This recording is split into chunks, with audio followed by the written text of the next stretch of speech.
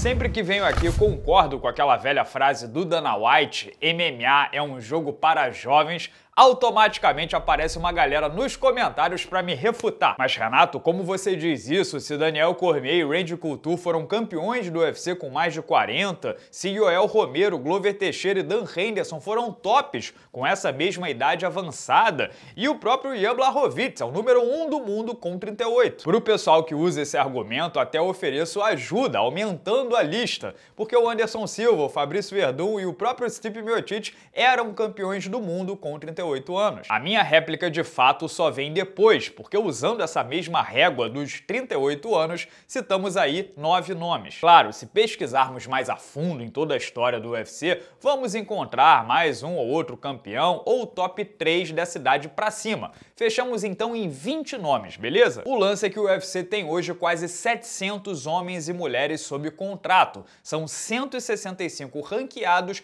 e apenas 9 com 38 anos ou mais isso dá 5%. Contando só top 3 e campeões, falamos de Holly Holm e dos já citados Glover Blachowicz e Miocic. Isso dá 4 de 48 pessoas, ou seja, 8%. Voltando para o número inicial de 20, dentre mais de 5 mil atletas que passaram pelo UFC em 27 anos, fica muito claro que se trata de exceção e não regra. Se fosse muito comum, trivial, coroas chegando no topo da carreira com 38 anos ou mais, teríamos percentuais muito maiores do que esses. No jiu-jitsu, por exemplo, com 30 anos você já pode optar por não competir mais entre os adultos, partir para a categoria Master. Pessoal, negar que a partir de 30 e poucos anos o corpo humano, em estado natural claro, entra num processo de declínio físico é apenas lutar contra evidências biológicas. E é por isso que tão poucos chegam ou se mantêm no topo com idade avançada, porque além da parte hormonal, tem o lance do acúmulo de danos, lesões e por aí vai. O sistema antidoping da usada em vigor, então demanda verdadeiras exceções.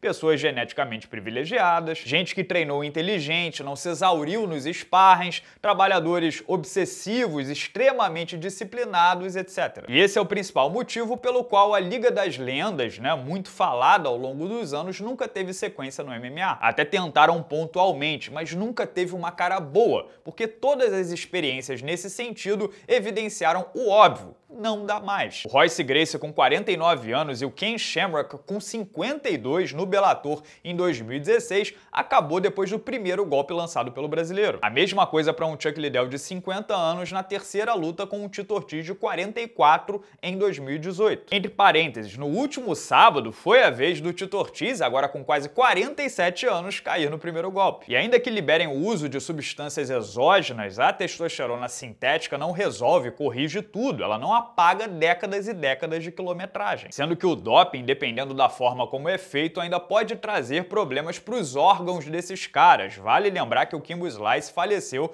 com problemas no coração e no fígado. Isso meses depois de ser flagrado no exame antidoping. O cara tinha 42 anos. Esse papo todo de Liga das Lendas reacendeu depois que o icônico Mike Tyson resolveu voltar a lutar com 54 anos. Como tudo que o magnético Tyson faz capta a atenção do mundo, acabou sendo um sucesso de de vendas, mas cá entre nós, a luta não foi nada perto de excitante. Quem viu aqueles vídeos de 8 segundos no Instagram dele fazendo manopla com o Rafael Cordeiro e teve um breve momento de ilusão e saudosismo, achando que por algum motivo aquela pujança descomunal de 1988 que derrubou o Michael Spinks voltaria, certamente se frustrou e dificilmente compraria uma segunda rodada. E também a experiência só foi compatível, só funcionou minimamente porque o adversário em questão tinha 51 anos, então estava na mesma vibração, na mesma velocidade. Já no último sábado resolveram esticar a corda, botaram em campo um cara de quase 59 anos contra outro lutador profissional 16 anos mais jovem. E o resultado foi um baita tiro pela culatra. A lenda Evander Holyfield caindo daquela forma está sendo visto hoje nos Estados Unidos como algo quase criminal pelos fãs. Até aqui no Brasil, casa do Vitor Belfort virou motivo de piada nas redes sociais. Olhem, por exemplo, esse post do comediante Léo Lins, né, que tem milhões de seguidores no Instagram. A reação foi tão negativa, mas tão negativa, que o chefe de operações da Thriller, o senhor Thorsten Mayer, deu entrevista ao Yahoo Sport dizendo o seguinte, aspas, No fim do dia, queremos a Thriller promovendo lutas profissionais. Vamos nos afastar desse tipo de exibição. As experiências foram legais, mas o foco agora são 100% lutas profissionais. E entendam bem, ele não está dizendo isso só por causa do feedback negativo. Acontece que, um, as comissões atléticas já anunciaram que o processo para conseguir permissão para lutar com mais de 40 anos nos Estados Unidos vai ficar bem mais rigoroso a partir de agora. E dois, o jornalista americano Dan Rafael, especializado no boxe, noticiou hoje que o evento do último sábado vendeu 150 mil pacotes pay-per-view. Isso dá em torno de 7,5 milhões de dólares e esse valor sequer cobre as bolsas prometidas a Anderson Silva, Tito Ortiz, Vitor Belfort e Evander Holyfield, ou seja, perderam dinheiro. Aliás, eu estava editando a resenha do Renato aqui, acompanhando, e eu parei para pensar, ó,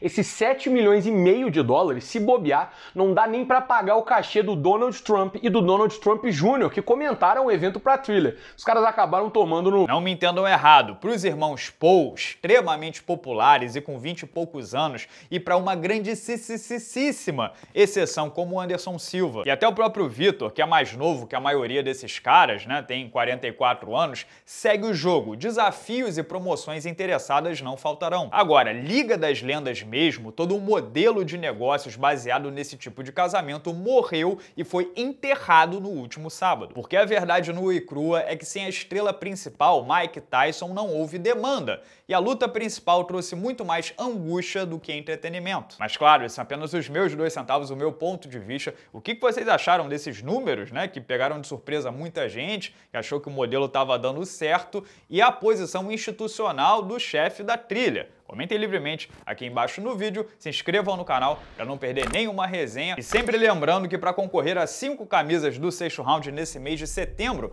ter acesso a material exclusivo, nessa sexta-feira tem vídeo exclusivo para os membros do canal e principalmente ajudar o canal a crescer, considere virar membro, é só clicar no botão azul seja membro aqui embaixo. Não percam também a minha resenha de ontem. Falei sobre a nova rivalidade José Aldo versus Khabib Nurmagomedov, um bateu, o outro respondeu e vamos ver quem tem razão aí, analisar esse caso como um todo. É só clicar no link aqui do lado para conferir. Beleza? Grande abraço a todos, muito obrigado pela audiência de sempre e até a próxima.